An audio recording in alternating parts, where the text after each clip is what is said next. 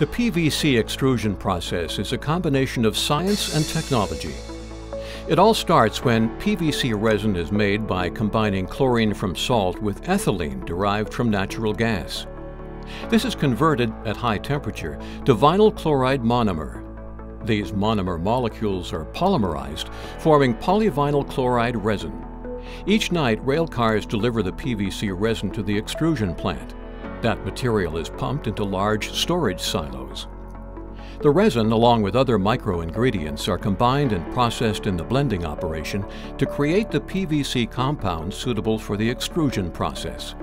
These proprietary formulations improve weatherability, add custom color, and improve durability, impact resistance, and processability. Once the compounding process is complete, Material is transferred to silos closer to the extrusion lines to begin the manufacturing process.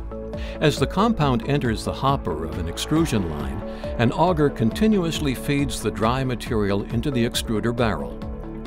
As the compound is fed through the extruder barrel, the temperature of the material increases until it reaches 390 degrees. Here, the powdered compound melts into a viscous material the revolving action of the dual screws pushes the melted compound into the die, starting the process of converting the material into a profile.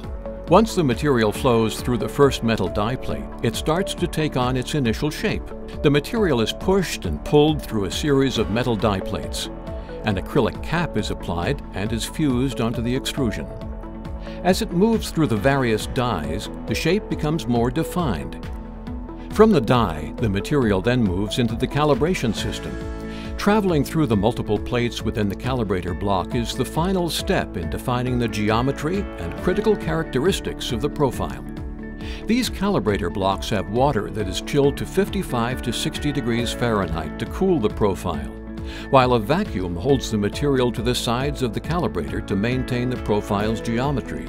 This cooling process starts to harden the profile and reduce its viscosity. Once the profile exits the calibrator block, it moves into the water cooling tank. The profile is completely immersed in chilled water as it runs through a series of guides. These guides help maintain the critical dimensions and overall shape of the profile. Since the extrusion process involves pushing material through the die, a caterpillar puller is used at the end of the line to sequence the movement of the profile through the process. It then goes through a heated embossing process to apply the wood grain surface. A precisely timed saw then cuts the siding to an exact length and it is dropped to a table for packaging. The profiles are placed onto a wooden pallet, wrapped and labeled. Each pallet is moved by forklift to be placed in queue for shipping.